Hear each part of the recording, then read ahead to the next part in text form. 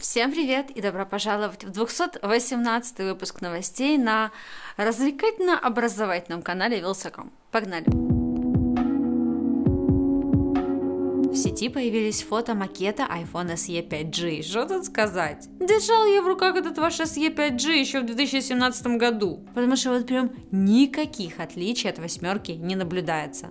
Более того, кроме нового чипа и модема их не будет и внутри. Например, SE не будет поддерживать MagSafe, только медленную и морально устаревшую Qi зарядку. Почему так? Неужели Apple не хочет продавать покупателям SE зарядный блинчик за 40 баксов? Думаю, очень даже хочет, но для размещения магнитов придется еще больше уменьшить аккумулятор, а он у актуального SE сейчас и так не блещет. Сколько там сейчас? 1821 мАч?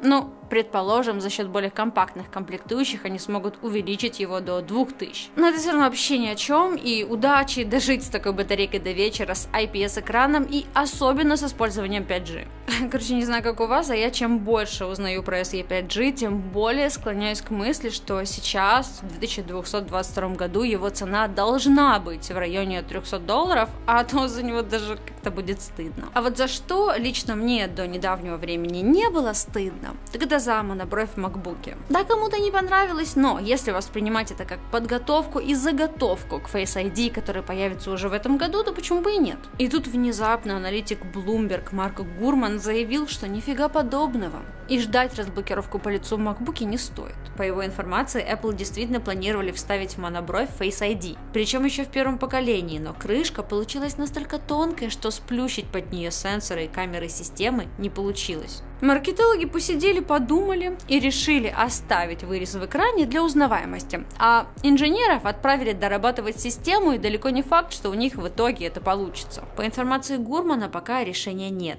И в этом году Face ID, если и завезут, то только в iMac или внешний монитор. Короче, блин, тот случай, когда думаешь, что у Apple есть хитрый план, а оказывается, что у них есть хитрые маркетологи. Кто бы мог подумать? И к слову о хитрых планах. Apple в очередной раз планирует урезать функциональность AirTag для борьбы с нежелательной слежкой. Чуть позже в этом году выйдет очередное обновление ПО, которое в очередной раз сократит появление уведомления о том, что рядом с вами находится чужой AirTag. Пищать при этом забытая метка станет еще громче, а главное, теперь функция точного поиска может воспользоваться не только владелец, но и все, кто окажется рядом. Закинули метку в раму велосипеда или нашли для нее укромное место в самокате или снык или в тачке, чтобы в случае угона найти свое имущество. Можете доставать. Оно и после последней обновы довольно быстро начинало пищать и выдавать сообщения на ближайший iPhone, а скоро это время сократится до минимума, и вы даже не успеете посмотреть, в какую сторону уехало ваше имущество. Я, конечно, понимаю приватность, боязнь слежки и многомиллионных исков, но, блин, после всех этих урезаний AirTag можно будет использовать только для поиска ключей. С другой стороны, долгоживущая альтернатива GPS-маячку за 29 баксов,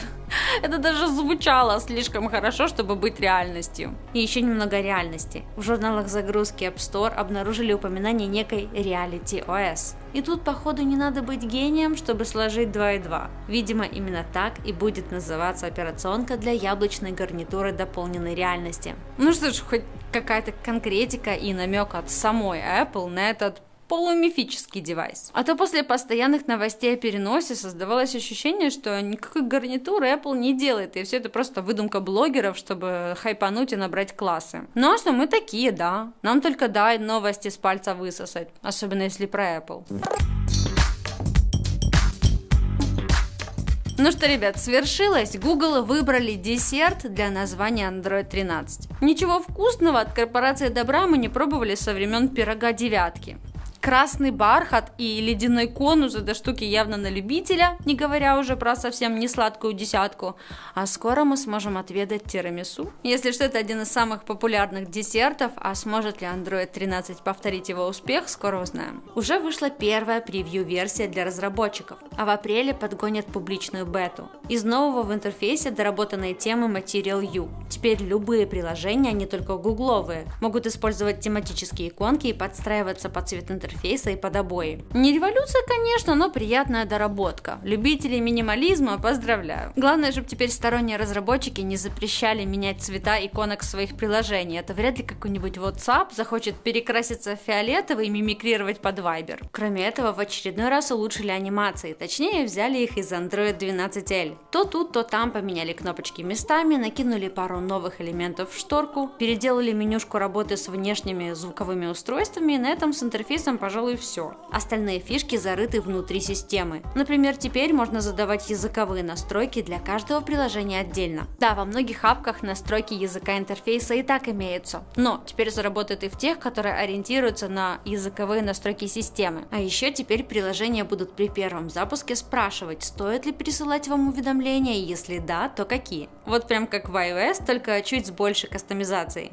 Само собой не обошлось без инноваций в безопасности. В Тирамису можно предоставить приложению доступ только к определенным фоточкам, а не ко всей галерее. Опять же, важно для тех, кто парится на этот счет, но лично я на айфоне, где уже давненько такая функция есть, всегда жму все. Ну, потому что никогда не знаешь, когда в следующий раз пригодится, а вот это вот сидеть, отмечать фотки как разрешенные, очень лениво.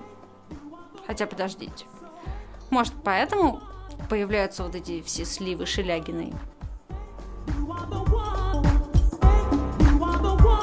Вот вы, наверное, прожили эту неделю и, наверное, даже не подозревали, что часть человечества стоит на пороге глобальной катастрофы и может лишиться главного – доступа в Facebook и Instagram. Вот сейчас произнесла, аж холодным потом окатила. Но тем не менее, в отчете Мета, представленном комиссией по ценным бумагам, черным по белому был показан сценарий, при котором компании придется закрыть свои соцсети в Европе. Сейчас Мета хранит данные о пользователях в США и Европе, но новые законы требуют хранения только на европейских серверах. Вроде не проблема, уж на что-что, а на аренду серверов деньги у Мета все еще найдутся. Вот только формат шифрования передачи данных у них не соответствует новым европейским правилам. Быстро поменять его не получится, и поэтому есть реальная угроза отключения мета-соцсеточек на территории Европы. Цукерберг как бы намекает, давайте что-то решать. А то как вы без Facebook Фейсбука-то. И внезапно некоторые еврочиновники ответили, что в принципе, если что, то можно без него и обойтись. Например, министр экономики Германии министр финансов Франции поделились личным опытом и рассказали, что после того, как из-за того самого небрежного хранения данных их странички ФБ взломали, они спокойно живут без соцсеточек. Мол, нефиг нам угрожать, давайте решайте вопросы и подстраивайтесь под наши стандарты. И знаете что? Этого и парочки публикаций в Bloomberg хватило, и Мета тут же принялись рассказывать, что их неправильно поняли, они никому не угрожали. Конечно же, готовы сотрудничать с еврочиновниками и вообще просто выявили бизнес-риск. Оно и понятно, у них вон миллион пользователей ушло и акции рухнули на 30%. А прикиньте, если отвалится полмиллиарда европейцев. Тут уж такой волной Цукерберга накроет, что никакой серф не вывезет. Хошь не хошь, а придется подстраиваться. Вот за что я люблю мир технологий, так это за неожиданные повороты. Казалось бы, есть незыблемые столпы. Супер богатые компании, которые уже никуда никогда не денутся. Но тут они делают один посредственный продукт, другой, расслабившись, чуть не поспевают за рынком. И все.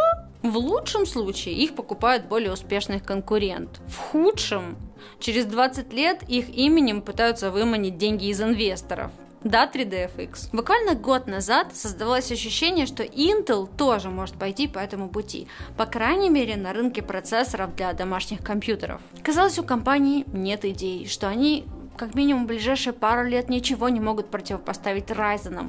Но тут выходит 12 поколение, и уже AMD стоит задуматься, чем ответить Intel. Синие не только хорошо показали себя в тестах, но и потихоньку отбирают клиентов у красных. Например, по данным крупной американской сети Newegg, впервые за последний год процессор Intel в лице i7-12700K смог подняться на второе место по продажам. Да, 5600X все еще на первом месте, но он и стоит на 100 долларов меньше меньше. В Канаде у синих в топах 9 позиций из 10. В немецком и британском Амазоне 5. Короче, Intel is officially back и поговаривают, что на этом фоне AMD решили перенести презентацию абсолютно нового Ryzen 7000 с конца года на конец лета.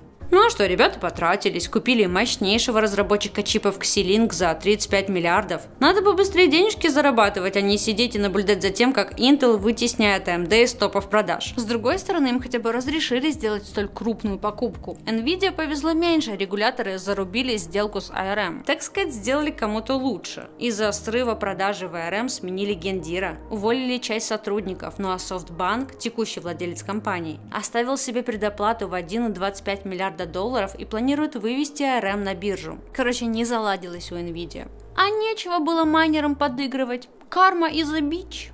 Вон, кстати, и с 3090 Ti проблемки возникли. Супер-мега-флагман Nvidia должен был выйти на рынок еще в прошлом месяце, но его нет до сих пор и, судя по всему, не будет еще довольно долго. По информации инсайдеров, Nvidia в последний момент столкнулась с серьезными проблемами, и теперь им придется полностью перепроектировать печатную плату. Что конкретно пошло не так не сообщается, зато поговаривают, что карточка может задержаться чуть ли не на полгода и появится на полках магазинов прямо перед анонсом нового поколения. Обидно! Только, значит, решили сделать карту для геймеров. Просто при ценнике в 4-5 тысяч долларов отбиваться она будет очень долго.